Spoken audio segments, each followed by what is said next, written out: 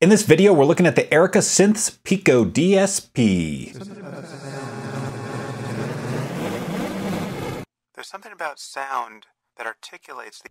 There's something about sound that articulates the. There's something, about sound that articulates the openness and ungovernability of experience.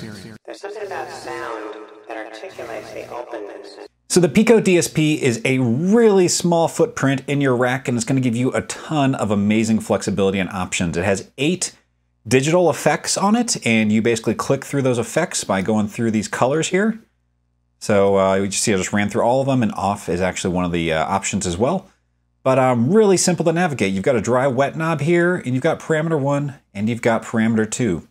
You have CV control over parameter one, you've got your input audio signal, and then stereo output. So really nice that in such a small unit, you get stereo out. All right, so before I dive into the actual parameters and showing you demos of those, I just want to say that what I think is awesome is that the it's it's such a simple control and it's so easy to just get the parameters here. But I will say I often even with the fact that there's only eight effects, I forget, you know, which effect is which parameter. And so I kind of then have to often, you know, just kind of fiddle around with it and try to listen for what's happening there. But um, they do make it's like their manuals. That's what I love. Erica Synths manuals are like three pages long, and it's just one page is just like colors, parameters, and it's just a table. So you could very well make a chart of this. I'll put this on screen during the video, but um, that's probably the only thing I just find that I forget it. But at least it's not menu diving or anything like that. It is about as basic as you can get, and like I said, audibly you can pretty well figure out the parameters pretty quickly. And I kind of I've basically memorized my favorite effects to use for my type of music and stuff as well. So I uh, love the setup and the design of it. All right, so we're going to start going through effects here. And basically, I'm going to have this vocal track kind of going in the background. And um, it's going to be looping, and I find the vocals are really great to just hear the what is exactly is happening with an effect um, versus an instrument or something. So we're going to play through vocal, and uh, I'm going to go through each of these effects. First, this is the dry signal. There's something about sound that articulates the openness and ungovernability of experience. And then I'm going to put these things to really around 100% to start here, just so you can hear. So first we're going to try the just off switch, which is black, which uh, is basically a mono delay, where your top one is your delay time and your second one is your feedback. So I'm going to start looping our vocal here, and it's 100% wet.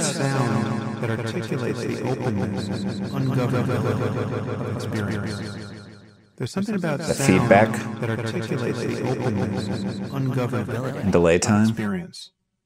There's something about sound that articulates the openness ungovernability of experience. There's something about sound that articulates the openness and ungovernability of experience. There's something about sound. Pretty amazing there, but now let's add some CV into that. We're now going to modulate the decay, delay time. about sound that articulates the openness and ungovernability of experience.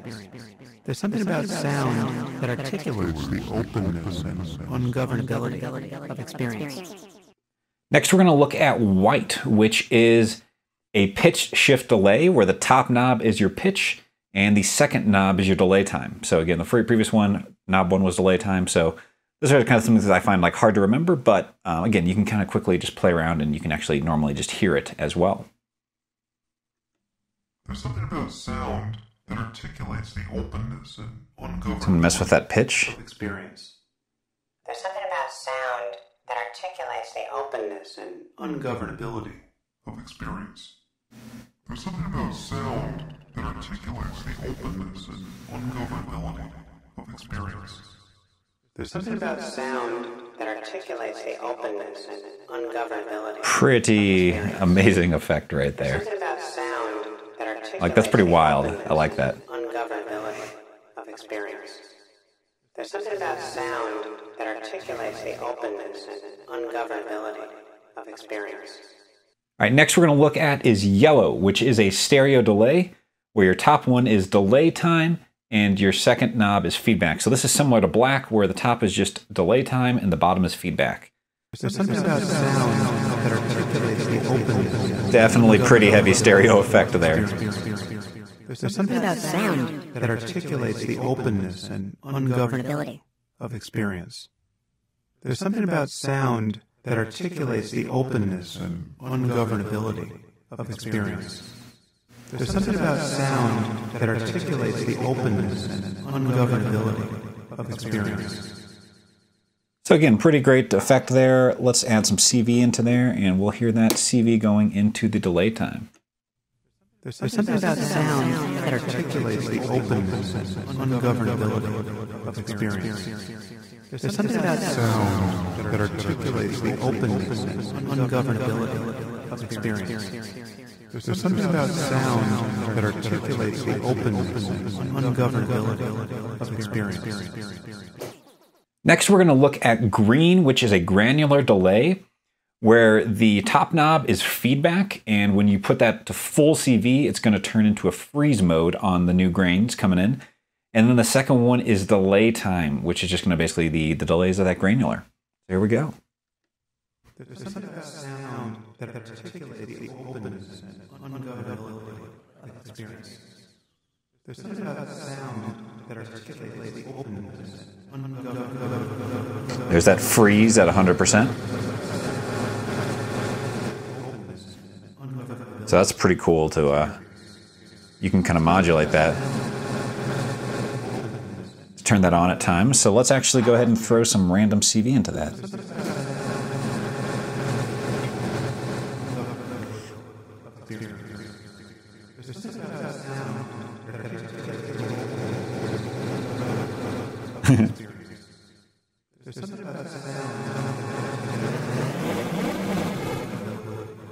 Make that really short grains. That's pretty wild. Let's go super low, long and delay.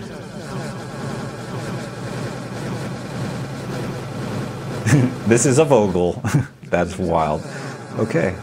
Yeah, this is oh, that's super cool when you get that that up in the freeze mode. You just you freeze a grain like that, and like you just got a cool sound coming through.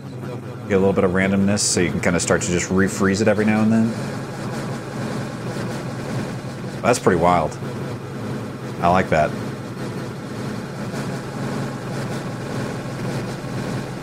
Oh, we should also probably unfreeze it, turn it off.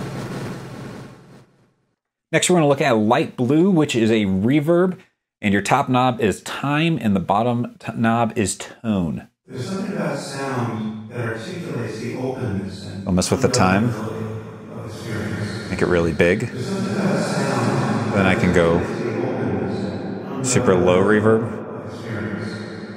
There's something about sound high reverb, the openness and ungovernability of experience. small space, high reverb, Something about sound that articulates the openness or low reverb. ungovernability of experience. So again, pretty simple effect there. Let's go ahead and modulate that first parameter. There's something about sound that articulates the openness and ungovernability of experience. There's something about sound that articulates the openness and ungovernability So it's kind of modulating the size, which kind of blends together. It's a little hard to make a distinct effect with that one, which is a little interesting, but still definitely something cool to control over the CV.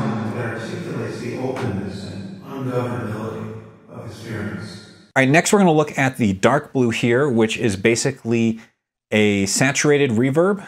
And um, you basically have your top knob is tone and your second knob is time. So literally it's kind of reverse from the other two and it's a different type of reverb effect.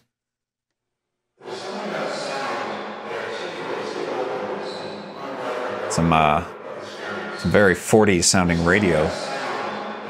You can change that tone.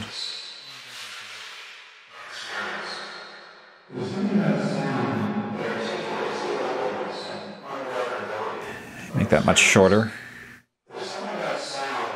Or radio broadcast from the Oval Office. Or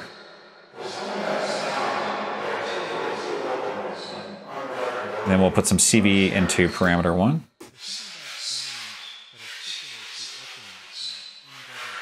Just kind of randomly messing with the tone on that there. So you can probably do some really cool envelope stuff with that. Kind of like raise it, do uh, rises and falls and stuff there. That'd be pretty sweet.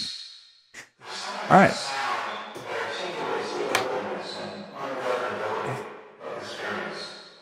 Next mode we're looking at is pink, which is a Leslie cabinet. And the top is simply your speed, and the bottom is a high pass filter. So let's check it out. There's something about sound that articulates the openness. Pretty cool effect you're getting there. Of experience. So we're just putting a There's something about filter, sound that articulates the openness and and you can mess with the speed of how fast it's spinning around your head. There's something about sound that articulates the openness and ungovernability. So it's a pretty cool, pretty cool effect in terms of stereo. Like that's really nice, actually. So um, yeah, put that stereo output into your mix, and like that's kind of trippy. Um, and then or you know, Articulates the openness and I mean that could you just get that in time with your music a bit there. So again, really cool thing. Something about sound that articulates the So openness. yeah, Leslie, then let's mess with the CV of that speed. I bet that's gonna be weird. There's something about sound that articulates the openness and ungovernability of Hmm. experience. There's something about sound that articulates the openness and Yeah, so I can get a little bit more randomness there, it's just kind of switching between various speeds of spin. So pretty cool effect there. And ungovernability of experience. Final effect we're looking here is my favorite and probably my most used, which is the overdrive and, slat and bit crusher. So basically, your top is overdrive and your bottom is uh, basically going to be a bit crusher. So if I turn all those all the way down, There's something about sound here. it's just subtly there, the but- openness and ungovernability there's that overdrive. experience. There's something about sound that articulates the openness And you can also combine that with a bit crush. of experience. There's something about sound that articulates the openness and, And yeah, ungovernability then we can kind of mess with experience. modulate There's that. something about sound that articulates the openness and ungovernability of experience. There's something about sound that articulates the openness and ungovernability of experience. There's something about sound that articulates the openness and ungovernability of experience. So really simple effect, but this thing just sounds amazing. You just put any synth line through it, you put your drums through it, and it just sounds awesome and dirty and industrial. So I love this. I, I mean, I have this thing in red almost all the time. like I just, it's in almost every patch. It's some level put in some sort of distortion, even if it's subtle on something. Um, so that's probably my favorite way to use it. I definitely sometimes use the other effects as well, and this demo's made me want to use more of the other effects more, but I just love the distortion. Can't get enough of that one. That is the Erica Synths Pico DSP. Super small footprint, super powerful effects, great value for it. Um, it's make a great great addition to your rack, and I promise if you put this in your rack, you're going to use it on every patch. Like you're just never going to be like, ah, I'm not going to run that thing through that extra effect that can give me that subtle little reverb or, or distortion or something. Like it's you're just you're going to use the hell out of this. So pick yourself up a Pico DSP. I think you'll be very happy that you did. And in this episode, I want to do a quick shout out to the Colorado Modular Synth Society. If you want to hang out with cool people that are just making real connections and just have one of the coolest play like chat rooms online to hang out in, um, check it out. Like I'm literally in there a lot and just you know avoiding my actual workday, hanging out on Discord, and there's a lot of other cool, really interesting people here. Uh, so definitely check it out. The Colorado Modular Synth Society can't uh, can't sing its praises enough.